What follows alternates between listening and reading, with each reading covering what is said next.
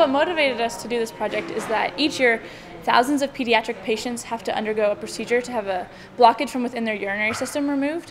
And as part of the recovery process, a stent is put in place between their kidney and their bladder just to help everything drain during the recovery process. This means that they have to come back to the hospital three weeks later to have it taken out and the current procedure requires that pediatric patients have to go under general anesthesia and be put fully under in an operating room. And so we really wanted to just simplify that and get rid of the need for all that excessive stuff. The stents are right in place inside the child it's currently used everywhere by the pediatric surgeons and even adult surgeons already.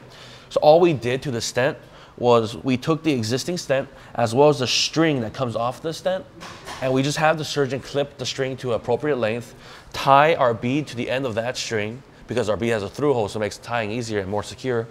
And then we just leave it inside the body. And because the bead's been coated, it survives the month without any incrustation or anything. So all we've done is taken the stent, put a bead at the end of it, turn our magnet on, and it comes right out.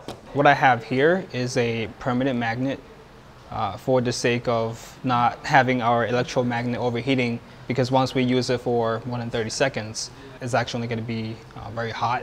But this permanent magnet has the same magnetic strength as the electromagnet.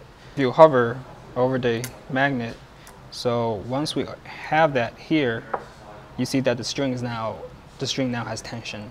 And now the surgeon will simply take the string and slowly pull out the stent.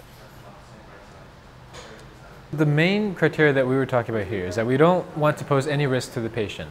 The idea of us removing anesthesia from the process is that we want the process to be safer. So that was our first criteria. We also wanted the process to be cheaper because right now we estimated that it costs about $2,600 for the procedure to occur for the hospital. And we thought that was ridiculous for a one minute procedure. So we basically set 2600 as our maximum possible limit. Now we actually ended up somewhere, between 200 and 500, so we're pretty happy with that. And our third criteria was that we shouldn't cause any pain to the patient, or as minimal pain as possible.